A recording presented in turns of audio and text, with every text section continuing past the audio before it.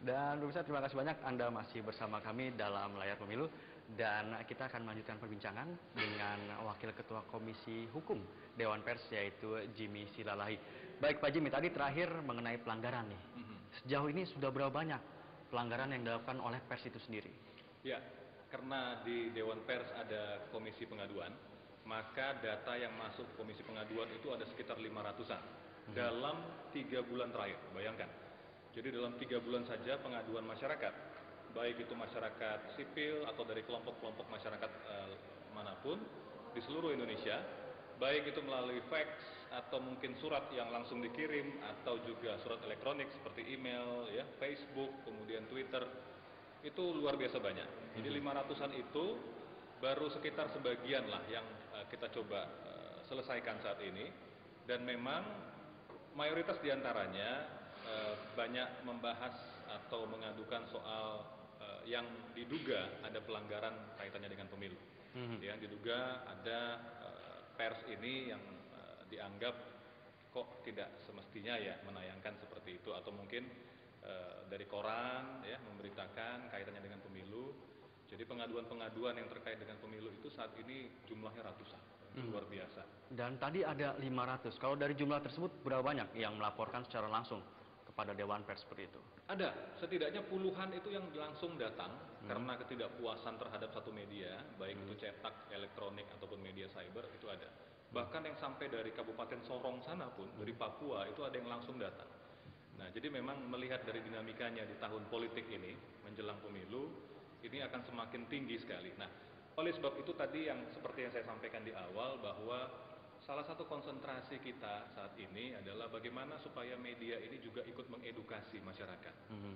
Baik itu masyarakat pembaca ya untuk media cetak, masyarakat pemirsa untuk TV maupun masyarakat pendengar untuk yang media eh, radio. Mhm.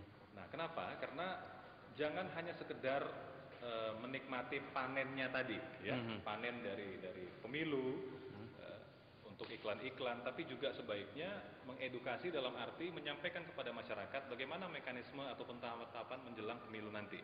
Kemudian yang tidak kalah pentingnya adalah harus kita pahami ini bukan sekedar prosesnya saja yang dikawal, tapi bagaimana kualitas hasil pemilu ke depan. Mhm. Nah, kenapa? Karena kita harus mengakui dalam 2013 ini ketika kita melihat parameter dari sejumlah pilkada-pilkada di beberapa daerah, angka partisipasi pemilih itu jauh sekali merosot, semakin menurun. Mhm. Artinya apa? Ada pesimisme masyarakat. Masyarakat itu sudah antipati. Kalau sudah mau bicara soal politik, mereka nggak mau tahu. Apalagi ikut mencoblos atau ikut memilih misalnya. Nah itu kelihatan dari beberapa pilkada di sejumlah daerah dalam tahun 2013 itu kelihatan secara grafik itu sangat menurun, merosot. Bahkan tingkat partisipasi masyarakat di sejumlah daerah untuk ikut pilkada itu sudah eh, hampir 50% golputnya. Mhm. Nah, golput ini adalah salah satu PR bagi media menjelang pemilu. Bagaimana caranya? Jangan hanya sekedar eh, membuat ini menjadi sebuah tugasnya KPU saja atau penyelenggara pemilu. Ini juga tanggung jawab sosial seperti Oke. tadi saya sampaikan. Oke, Ya, baik, Ke depannya supaya masyarakat jangan golput. Mhm. Nah, itu sendiri kalau dilihat penyebab golputnya itu sendiri apa ini? Apakah memang juga karena pers seperti itu? Ya, jelas kece- eh, kekecewaan ya dari hasil pemilu atau mungkin dari hasil yang ada selama ini proses politik, mungkin kecewa kepada pemerintah baik itu di pusat maupun daerah, kecewa kepada partai politik yang dianggap hanya sekedar menjual janji saja, kecewa kepada mungkin legislator yang saat ini berada eh, di posnya masing-masing baik itu di DPR atau DPRD yang mungkin dulu waktu pas mau pemilu mereka banyak janji tapi sekarang tidak dipenuhi. Jadi kekecewaan itu itu sudah menjadi satu kesatuan yang membuat mereka atau masyarakat ini kecewa dan tidak mau ikut memilih lagi. Oke, baik. Ini kembali lagi ke persoalan pelanggaran nih, Pak Jimmy. Dari 500 yang diadukan seperti itu kan, berapa banyak yang sudah ditangani oleh Dewan Pers? Sudah lebih dari separuh. Ya. Setidaknya penyelesaian oleh Dewan Pers ini salah satunya misalnya itu dalam bentuk eh, penilaian dan rekomendasi. Hmm. Jadi pernyataan, penilaian dan rekomendasi baik itu karena misalnya pengaduan itu lebih kepada fokus eh, medianya yang dianggap bersalah atau mungkin jurnalisnya. Hmm. Banyak juga pengaduan ya kalau kami lihat 85% dari pengaduan itu karena adanya potensi atau ada kecenderungan pelanggaran kode etik jurnalistik. Nah, makanya dalam kesempatan ini kami juga ingin menghimbau kepada semua jurnalis ya khususnya misalnya di Indonesia Network dengan di kelompok media Bali Pos mudah-mudahan tetap menegakkan uh, kode etik jurnalistik. Karena kalau kode etik jurnalistik itu dijalankan hmm. niscaya nanti kita menjelang pemilu nggak usah khawatir lagi. Pasti semua akan berada di dalam track yang benar. Hmm. kita pasti akan paham bagaimana sesungguhnya memberitakan pemilu karena kita paham kode etik jurnalistik. Oke nah kalau dari penyelesaiannya nih hmm. Pak Jimmy apa yang dilakukan nih?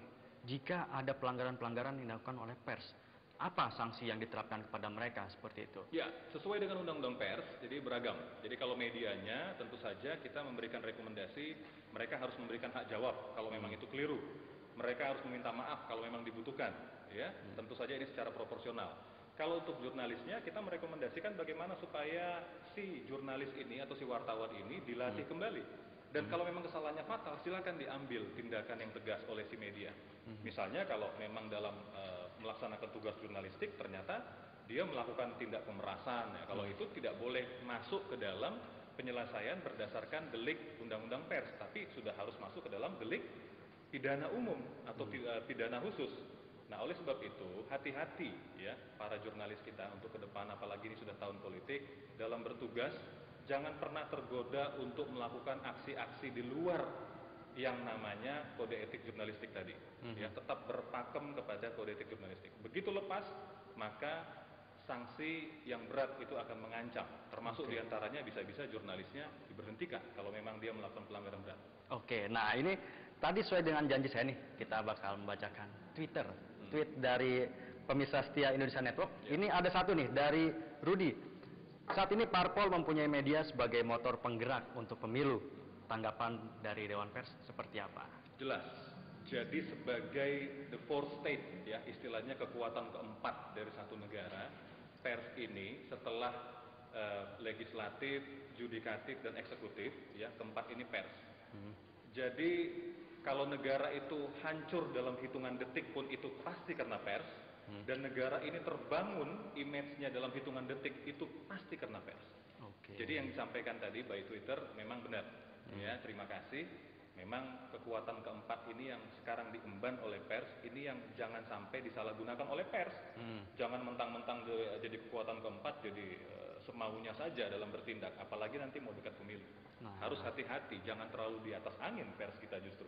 Oke, terakhir hmm. Pak Jimmy closing statement mengenai pers dan pemilu ada gak yang ingin Pak Jimmy sampaikan kepada pemirsa? Ya, tentu saja kepada Indonesia Network, kepada uh, kelompok media Bali Pos, kepada semua pemirsa, termasuk di antaranya kepada semua jurnalis, semua media yang mungkin menyaksikan program ini, kami dari Dewan Pers sangat mengharapkan sekali kerjasama kita semua hmm. dalam mensukseskan pemilu jadi not only by proses, tapi tidak hanya sekedar prosesnya, tapi bagaimana kita memastikan ke depan hasilnya sukses pemilu ini, menghasilkan pemimpin yang baik. Hmm. Bagaimana caranya? Nomor satu, mari sama-sama kita mensosialisasikan pemilu ini agar jangan sampai masyarakat golput. Hmm. Silakan kecewa, jangan pilih misalnya partainya atau orangnya, tapi lakukan itu di ruang pencoblosan. Tapi jangan sampai tidak datang atau golput. Hmm. Karena itu sama dengan menghilangkan hak kita untuk menentukan masa depan bangsa. Dan yang kedua, khusus untuk media dan juga pekerja-pekerja jurnalis, ya, jurnalis-jurnalis maksud kami, bagaimana supaya ke depan tetap berada dalam track melaksanakan kode etik jurnalistik. Percayalah, hmm. pasti pemilu ini akan terkawal dengan baik dan menghasilkan seperti yang tadi kita harapkan bersama. Oke, baik. Baik, terima kasih banyak. Sama-sama. Pak Jimmy. Bayu, sukses juga ya. Sukses. Anda dan teman-teman. Iya, dan pemirsa itulah perbincangan saya dengan Wakil Ketua Komisi Hukum yaitu Jimmy Silalahi. Dan pesan terakhir dari saya yaitu jangan lupa untuk mencoblos dan jangan mensia-siakan hak pilih Anda pada tanggal 9 April 2014. Saya Bayutan, pamit undur diri. Terima kasih banyak. Sampai jumpa. Pak Jimmy.